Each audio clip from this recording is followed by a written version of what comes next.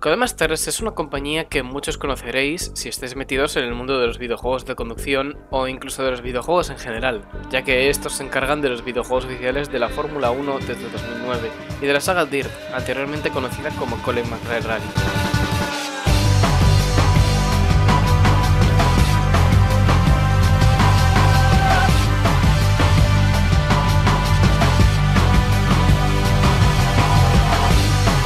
Pero en 2008, Codemasters lanzaría un juego del cual hablaremos hoy.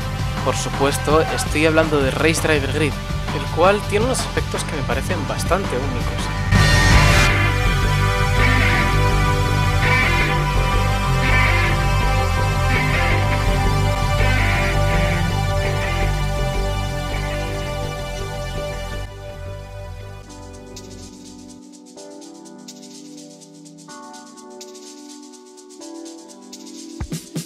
Grid es el sucesor de la saga Toka, más en concreto de Toka Race Driver. Estos intentaban tener unas físicas con toques de realismo, no que fueran simuladores, pero sí algo más parecido a lo que sería Gran Turismo, o sea, considerado un simcade. Pero Grid se acerca más a un juego de conducción arcade, o sea que las físicas no se centran en ser realistas, sino en ser divertidas y fáciles de aprender. De hecho, en esta época Codemasters había desarrollado el Lego Engine, un motor que permitía que las físicas fueran muy naturales y muy intuitivas, a pesar de ser una físicas arcade, como he dicho, lo cual en verdad rompe un poco cuando ves la estética del juego. Es un entorno de carreras legales en el cual tenemos categorías como la GT1 e incluso prototipos de Le Mans. Hoy en día los juegos que tienen una estética parecida suelen intentar ser sincades o incluso simuladores. Esto no tiene por qué ser algo malo, pero hay tantos juegos que intentan ser así que se echan de menos obras como Grid. Y me diréis, ¿existen más juegos de la saga Grid aparte del primero? Existe Grid 2, Autosport y Grid 2019.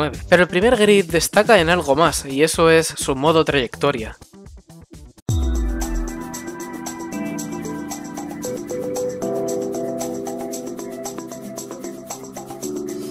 Es un modo trayectoria sencillo, pero muy completo y eso lo hace funcionar muy bien. Y también la progresión es muy notable durante el modo trayectoria. Al principio no tenemos nada, así que vamos a tener que ganar dinero corriendo para otros equipos antes de hacernos el nuestro. Y al empezar lo único que nos dan es un Mustang para hacer pruebas de ProMaskel. A medida que vayamos avanzando en el juego, nuestro garaje evolucionará, cambiará el aspecto, cambiará la música de fondo y nos darán nuevas opciones como contratar a un compañero de equipo. Este llevará el mismo coche y la misma livery que llevamos, o sea, la livery del equipo. Y también compartiremos los patrocinadores. Los patrocinadores los iremos obteniendo a lo largo del modo trayectoria. Cuantos más eventos completemos, más patrocinadores se interesarán en nuestro equipo. Y si cumplimos sus objetivos, nos darán dinero extra y nuestro compañero también puede cumplir esos objetivos. Siempre puedes contratar a un compañero mejor mientras tengas el dinero suficiente para hacerlo. Podemos comprar los coches nuevos o por eBay, lo cual no afecta en nada al gameplay, pero cuando entremos a una prueba veremos que el coche ya tiene recorridos ciertos kilómetros en el cuenta kilómetros. Y aunque en verdad esto no afecte en nada, me hace bastante gracia ya que tenemos además el logo de eBay oficial, no es coches usados y ya está como en otros juegos como Gran Turismo. Otro detalle que me gusta mucho es que cuando le des mucho uso a un coche este se va a acabar ensuciando y puedes ir al garaje a lavarlo.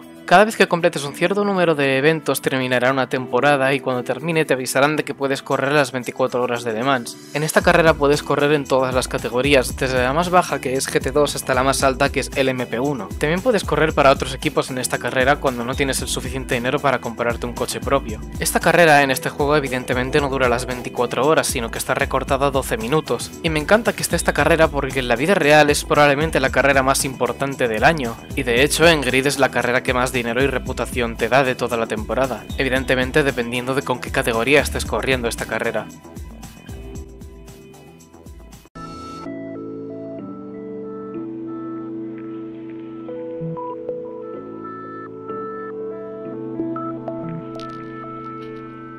Antes he hablado de los sucesores de Grid, pero no he entrado en detalles de por qué no me parece que llegan al nivel del primero. Aunque realmente Grid 2 no me parece un mal juego, a como la comunidad a veces lo hace pintar. Y dejad que me explique, porque en este juego no tienes un equipo como en el primer Grid, no lo manejas, y entonces se siente un poco más solitario, un poco más vacío, ya que solo corres tú contra otros equipos. E incluso las físicas de conducción se me hacen menos naturales que las del primer juego. Aunque algo que tiene este juego que me parece un acierto que hayan mantenido del primer juego es la progresión progresión que es muy notable también en este. Grid Autosport de hecho es el que menos me gusta de todos. Este es un spin-off que se centra más en ser un sincade que un arcade como los anteriores, y esto combinado con que los eventos son muy largos, el juego se siente muy lento, demasiado, y los eventos además se me hacen muy repetitivos. Por lo general el juego me parece bastante soso y no me motiva a volver, de hecho una vez hice un directo y desde que hice ese directo no he vuelto a jugar el juego, pero para mí lo salva el hecho de que solamente sea un spin-off y no una continuación de la saga, porque si no habría pasado como con Project Cars 3, que pasó de ser un simcade de camino a simulador a un juego totalmente arcade. El reboot de Grid de 2019 de hecho tampoco me parece malo, pero le faltan algunas cosas muy importantes que tenía el primer Grid para ser lo que era. Las físicas esta vez vuelven a ser completamente arcade y son bastante divertidas, pero lo que le falta a este juego es que la progresión se note, porque apenas se nota que estás progresando. Intentaron traer de vuelta lo de tener tu equipo y un compañero de equipo y todo lo demás, pero se nota como si lo hubieran hecho a última hora, además de que la opción está bastante escondida cuando debería ser un poco más importante a mi parecer, y tampoco tiene mucho contenido por lo que a veces se hace bastante repetitivo. Desde el lanzamiento de Autosport hasta el reboot de 2019 pasaron unos cuantos años, entonces no sé cuánto tendremos que esperar de nuevo para que saquen un nuevo grid. Ha dado la casualidad de que justo han anunciado uno nuevo mientras tenía este vídeo por la mitad, así que he tenido que meter esto aquí. Pues qué decir de este anuncio, Grid Legends va a ser el nombre del próximo Grid y por lo que parece van a haber muchas más disciplinas que en el reboot de 2019. No han dicho mucho más aparte de lo que hemos podido ver en el tráiler, pero parece que va a incluir un modo historia el cual me recuerda mucho al modo Breaking Point del Fórmula 1 2021.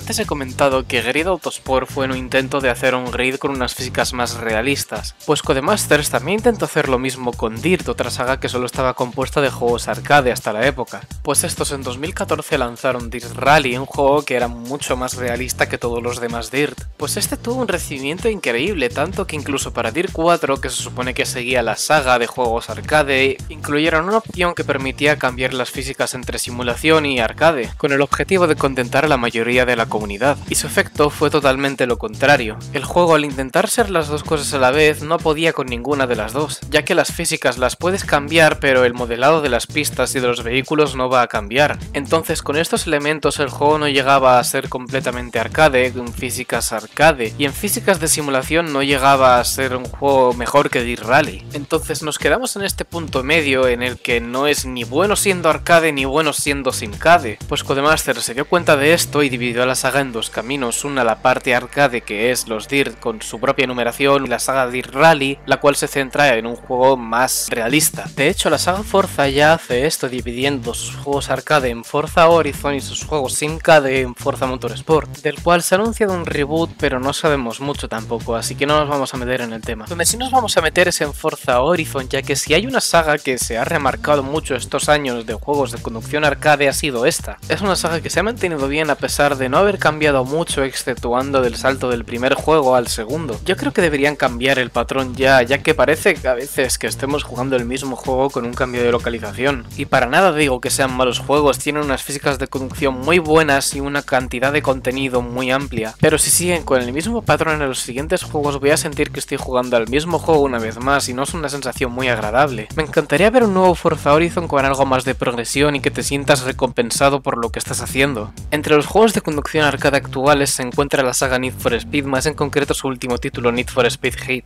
Es un juego que en realidad me gustó bastante, pero dejaron de darle soporte apenas unos meses después del lanzamiento. El único contenido que realmente se incluyó en este juego fue un McLaren F1 que costaba 5 euros y una versión descapotable del DB11 que ya estaba en el juego. Después de eso, Electronic Arts decidió cambiar la desarrolladora de los juegos de Need for Speed de Ghost Games a Criterion, por lo que todo el soporte del juego desapareció. Hace poco se anunció Test Drive Unlimited Solar Crown, el cual tengo bastantes ganas de ver, pero creo que para este juego necesitaría un vídeo aparte. He hablado sobre todos estos juegos porque me parece que sus errores y aciertos podrían tenerse en cuenta en el futuro e incluso en el futuro de otras sagas. A primera vista, parece que Grid Legends falla a solucionar uno de los errores más grandes que tenía el reboot de Grid 2019, que es la falta de contenido, lo que le hacía bastante repetitivo. No creo que una historia en un juego como este sea realmente necesaria, pero si esto ayuda a que la progresión sea bastante más notable, pues por mí bien. Y poco más, tocará esperar para ver más de este nuevo Grid Legends.